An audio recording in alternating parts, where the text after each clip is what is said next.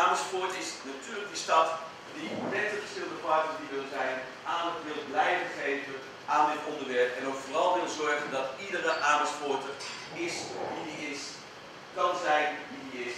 En ook in zijn omgeving, in haar omgeving, uh, zich kan ontplooien zoals hij graag zou willen dat het ontplooit uh, Daar is diversiteit heel nadrukkelijk benoemd als een van de belangrijke speerpunten waarin de vernieuwingsslag in het onderwijs nog een, uh, een verdieping En natuurlijk, als het een belangrijk onderwerp is, dan hebben we daar een subsidiepotje voor gecreëerd. Uh, maar het gaat er vooral ook uh, om dat het in de genen van schoolbesturen en docenten gaat zitten. Uh, ik ben Beb Timmer van de Nederlandse Sportalliantie, de NSA.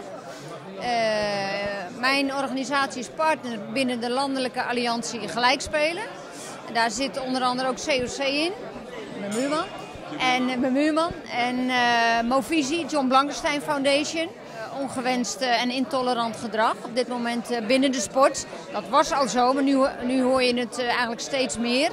En uh, de, waar, we, waar we tegenaan lopen is dat er eigenlijk weinig erkenning is dat het een issue is, dat het een probleem is. Of dat, omdat er geen zichtbaarheid is van die groep binnen de, de sport.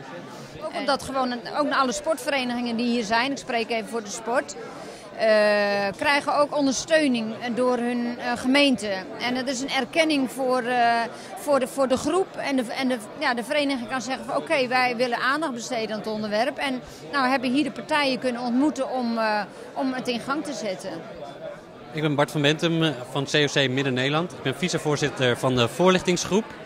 En wij geven voorlichtingen op scholen en um, proberen meer acceptatie en uh, tolerantie te krijgen op middelbare scholen en op basisscholen. Het gaat niet altijd even makkelijk, maar um, we vinden het wel heel erg leuk en elke school blijft een uitdaging. Ja, aan de ene kant uh, merk je natuurlijk dat er meer acceptatie komt uh, met der jaren.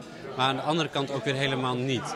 Ja, we vertellen altijd als eerste een coming-out verhaal um, binnen de klasse. Zodat ze weten wat wij hebben meegemaakt en wat wij hebben ervaren. En daar kunnen ze vervolgens vragen over stellen.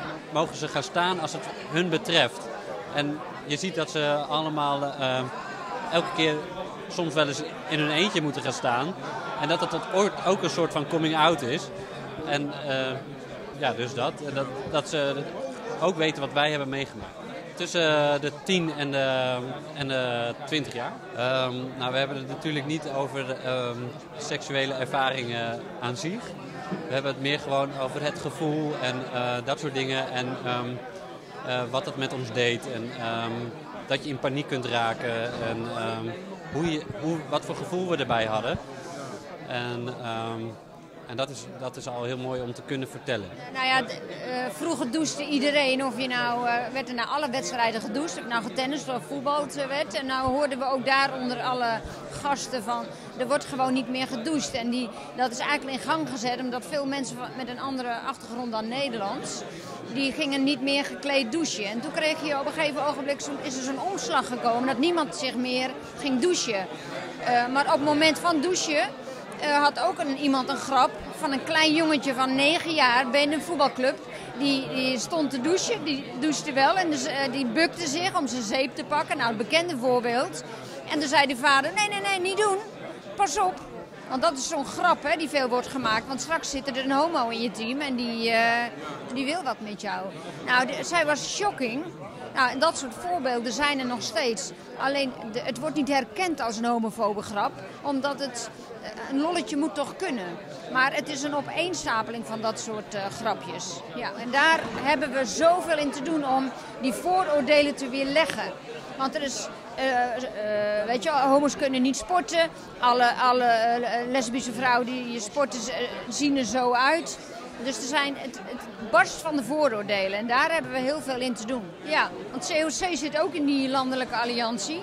En samen willen we naar die sportverenigingen toe. En daar staan alle deuren nog niet wagenwijd open. En die bescheerder is van? Van de Ambo-Roze groep uh, Amersfoort. Oké. Okay, wat... Dat is de Algemene Nederlandse Bond voor Ouderen. Ja. En wij zijn vormen in de stad een eigen groep van roze ouderen. Oké. Okay. En uh, wat betekent zo'n dag als vandaag voor u? Nou, het is, het is, ik realiseer me nu ik hier zit dat dat een belangrijke en ook heel mooie dag gaat worden.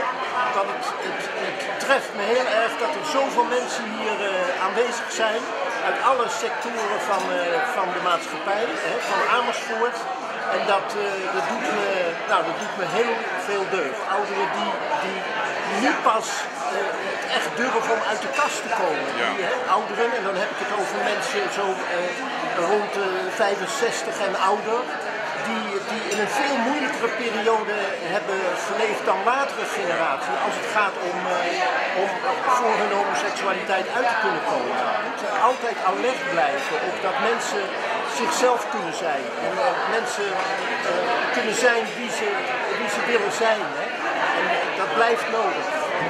En dit zijn mensen die uh, moeite hebben of kunnen hebben met hun geaardheid. En ik vind dat het normaal is dat je als samenleving zegt tegen deze mensen, jullie horen er gewoon bij, net zoals iedereen. Jullie zijn ook iedereen. en dat moet dus een veilige plek zijn voor mensen. Ja. Want ja, je praat over een stukje discriminatie. Ja. En uh, dat is natuurlijk altijd een, een, lelijk woord eigenlijk. Dat is het ook. Uh, en ik vind het uh, onnodig. Dat, ik, ik, noemde net het voorbeeld in de bijeenkomst van René van der Gijp in een voetbalprogramma. Dat er toch nog wel wat hardnekkige vooroordelen zijn. Waarvan ik denk van nou dat is niet goed. dus hierin ook het tegensignaal.